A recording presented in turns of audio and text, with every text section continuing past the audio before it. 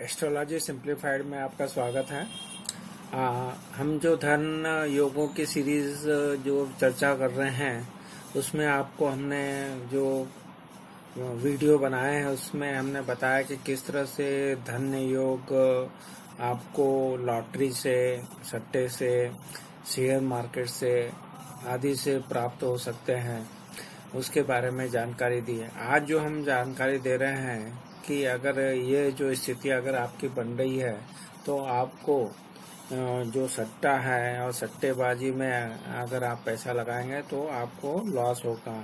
तो इसको समझने के लिए आप जो भी लग्न के जातक हो, वहाँ से आप देखें कि जो पाँचवें भाव जो रहता है, वो उसमें बुद्ध की राशि हो और उसका स्वामी बुद्ध हो तो और वो छठे भाव में बैठा हो।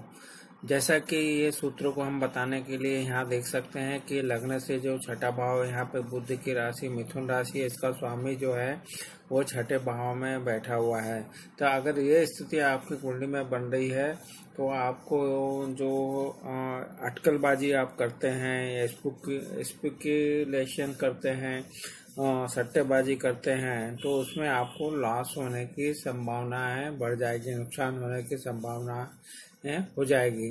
ये बहुत ही सरल सूत्र है, आप अपने जो भी लगने के हो, आप अपने पंचम भाव में अगर बुद्ध की राशि तीन या छः है, और वो, उसका स्वामी अगर छठे भाव में बैठ जाता है बुद्ध तो अगर ऐसी स्थिति में आपको नुकसान होगा सट्टेबाजी में। तो ये सरल सा सूत्र है। इसके पहले भी हमने जो वीडियो बनाया है, किस तरह से आप अपने कुंडलियों को अलग अलग तरीके से अगर स्थितियाँ बताई हैं, अगर वो सरल स्थितियाँ हैं, अगर उस तरह की स्थिति आपकी कुंडली में बन रही है तो आपको ज़रूर उसको समझ लेना चाहिए और अपनी ऐसे में अपने धन को या तो बढ़ा सकते हैं या नुकसान करा सकते हैं तो ये स्थिति बन सकती है। तो आपको हमारे वीडियो पसंद आए तो हमारे चैनल स्टाइल सिंप्लीफाइड को सब्सक्राइब कीजिए।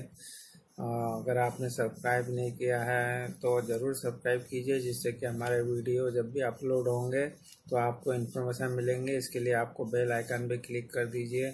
आपको हमारे से कंसल्टेंट अपॉइंटमेंट भी प्राप्त कर सकते हैं कंसल्टेशन ले सकते हैं अपॉइंटमेंट प्राप्त कर सकते हैं। आपने हमारी चैनल को सब्सक्राइब किया वीडियो को लाइक किया शेयर किया। इसके लिए आपका बहुत बहुत धन्यवाद।